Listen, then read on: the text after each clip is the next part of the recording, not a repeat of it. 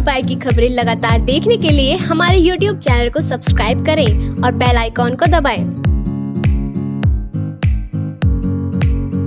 इस खबर के प्रायोजक है जैना ज्वेलर्स, आबुलेन, मेरठ मेरठ के गंगा प्लाजा में मोबाइल कारोबारी राकेश जुनेजा और पाल्ला के साथ बीती रात हुई मारपीट की घटना सीसीटीवी में कैद हो गई है। इस फुटेज में एक युवक राकेश जुनेजा को मारता व पीटता हुआ दिखाई दे रहा है।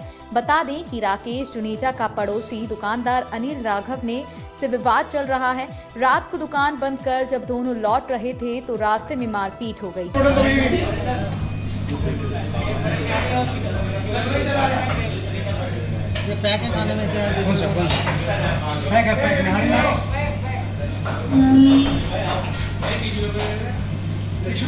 क्या नाम है? ध्यान दे लो। बोलिए। एक दूसरा वीडियो भी वायरल हो गया है। इस वीडियो में युवक अलग अलग हथियारों से गोलियाँ बरसाता हुआ नज़र आ रहा है। यह वीडियो कब का है? पुलिस इसकी जाँच कर रही है। युवक का नाम विशाल बाफर बताया जा रहा है।